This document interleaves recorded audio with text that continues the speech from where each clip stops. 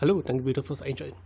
Äh, heute zeige ich mal, wie man ja, einfach so Schrift auf ein Objekt macht. Ich habe das mal mit so einer einfachen Cola-Dose hier angedeutet. Also wirklich nur mal schemenhaft. Und ich denke, sieht da im Großen und Ganzen gar nicht mal schlecht aus.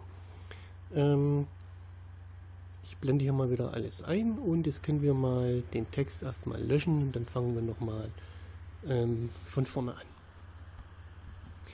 Am Anfang drücken wir mal Shift und A und fügen uns äh, mal den Text hinzu, schieben uns den ein bisschen zurecht. Ähm, das sollte man auch äh, möglichst machen, ähm, damit sich der Text nicht so sehr ähm, verzerrt. Äh, das seht ihr aber dann, also ähm, wenn der Text jetzt hier drüben stehen würde irgendwo, dann kann es sein, dass da hier nur teilweise drauf ist und wie auch immer. So, jetzt gehen wir mal in den Bearbeitungsmodus und können hier dann ähm, unseren Text eben draufschreiben und oder unseren Text erstmal definieren, je nachdem, was ihr machen wollt. Und dann könnt ihr hier natürlich noch ähm, die Schriftart wählen, hier, äh, je nachdem, was ihr eben machen wollt. Ich lasse das gleich mal so. Es kann ja auch sein, dass ihr was anderes machen wollt. Also wahrscheinlich wollt ihr etwas anderes machen. Ähm, wir müssen jetzt unseren Text auswählen und dann mal auf den äh, Modifikator gehen. Natürlich könnt ihr auch mit ähm, Skalieren den so größer und kleiner machen oder eben hier im Menü, äh, hier unten dann äh, bei Größe zum Beispiel. Oder verzerren könnt ihr noch ein bisschen schräg stellen und hier eben die Größe. Ja, ihr wisst, was ich meine. Also wir gehen jetzt mal auf den Modifikator, gehen dann auf ähm, Schrumpfen umhüllen und das ist eben der Trick an der Sache ganz einfach. Hier gibt es ein paar Auswahlen. Hier gibt es die Web-Methode, also die Umringungsmethode. Ähm, nächster Punkt zum Beispiel wollen wir ja nicht. Wir wollen ja auf die Oberfläche gehen und nicht auf irgendeinen Punkt. Deswegen wählen wir mal Projekt aus.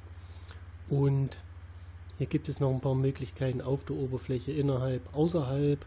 Äh, das könnt ihr mal ausprobieren. Und jetzt gehen wir hier mal auf äh, Negativ. Und hier unten wählen wir dann unser Ziel aus. Das machen wir am besten mit der Pipette, wenn ihr sehr viele Objekte habt. Und dann ähm, sehen wir schon, wie das eben hier drauf springt. Wie gesagt, ihr habt jetzt hier verschiedene Möglichkeiten, ähm, das eben auszuwählen, wie das eben drauf springt. Ähm, dann müsst ihr einfach mal selber probieren, was bei euch im Prinzip eben passiert. Hier kann man auch noch vorne hinten auswählen und äh, auch noch mit Grenze und Unterteilung arbeiten und eben mit den Achsen arbeiten und aber auch mit dem Versatz zum Beispiel arbeiten. Das kann sein, dass wir ein kleines bisschen rausgehen müssen, äh, weil eben durch die Oberflächenverzerrung hier sich das äh, ein bisschen, ähm, also der Text ist dann ein bisschen gewölbt und ein bisschen verzerrt nach oben hin. Und eigentlich sind wir jetzt äh, in dem Sinne schon so gut äh, wie fertig. Wenn ihr wollt, könnt ihr den Text natürlich noch mit Rechtsklick äh, konvertieren in eine Masche äh, umwandeln wenn ihr den zum Beispiel extrudieren wollt. Oder ihr könnt dann noch hier einen Modifikator hinzufügen, äh, dreidimensionalisieren äh, oder Solidifier, wie das dann auf Englisch heißt. Und natürlich könnt ihr ja auch noch äh, die Materialien hinzufügen, wie man das eben ähm, ja, mit ganz normalen Objekten eben macht.